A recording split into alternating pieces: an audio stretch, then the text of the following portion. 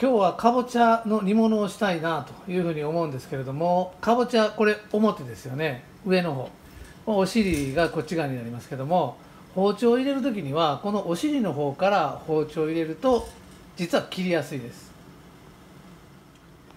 さてこのように、えー、切りますけれどもこの中綿なんですけれども中綿を取る時にはね、えー、大きなスプーンを使って繰り出すと取りやすいですよ。中綿をくり抜いたら、え、食べられる大きさにこれを切っていきます。これぐらいの大きさに切ってお鍋に入れます。で水を入れて砂糖とお醤油でまず一番最初味を整えるんですけども砂糖とお醤油だけでも実は十分なんですね。で今回はお酒とみりんもちょっと足してあげようかなというふうに思うんですけども、まあ、気分次第でえ変えていただければ結構です。でかぼちゃも甘いかぼちゃであれば砂糖は控えめ。